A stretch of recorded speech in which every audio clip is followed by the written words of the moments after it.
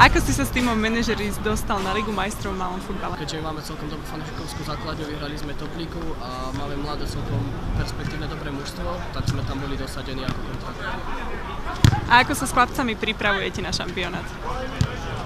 Tak plánovali sme trénovať už od začiatku septembra, ale keďže sme neboli všetci v Bratislave, tak tých tréningov toľko až nebolo, ale tréningy boli nejaké, mali sme aj prípravné zápasy a myslím si, že je to celkom fajn. Najdôležitejší bude určite prvý zápas. Prvé zápasy vždy najdôležitejšie podľa nich sa určujú celý turnaj a budeme sa ho snažiť vyhrať a veríme, že nám všetci budú držať palce a dopadneme tam čo najlepšie. A aké máte vízie túto sezónu v Top Lige? Jednoznačne vyhrať.